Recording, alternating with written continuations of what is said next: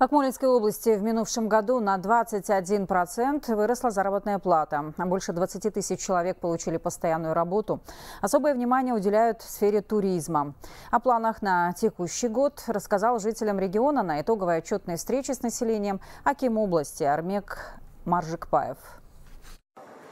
426 миллиардов тенге инвестиций привлекли в экономику региона в прошлом году. Почти половина из них направлена на развитие сферы промышленности. По этому показателю область оказалась на третьем месте по стране. И работа в этом направлении будет только усилена, отметил глава региона. По государственной программе индустриально-инновационного развития в регионе предусмотрена реализация 42 проектов с созданием более 4 тысяч рабочих мест. Из них в 2020 году введено 15 объектов на 42 миллиарда тенге. Несмотря на пандемию, темпы роста в агросфере растут. Показатели в этом секторе экономики повысились повысились на 13%. Вместе с тем большое внимание уделяется малому и среднему бизнесу. По госпрограмме «Дорожная карта занятости» в прошлом году освоено почти 3 миллиарда тенге, поддержано 448 проектов. Портфель экономики простых вещей включил в себя 167 проектов. В этом году продолжится работа и по газификации региона. Завершится строительство сетей газопровода в 14 населенных пунктах. Будут реконструированы дороги. На эти работы в бюджете уже предусмотрено 18 миллиардов тенге. В планах и ведение в строй 28 многоэтажек многоэтажек.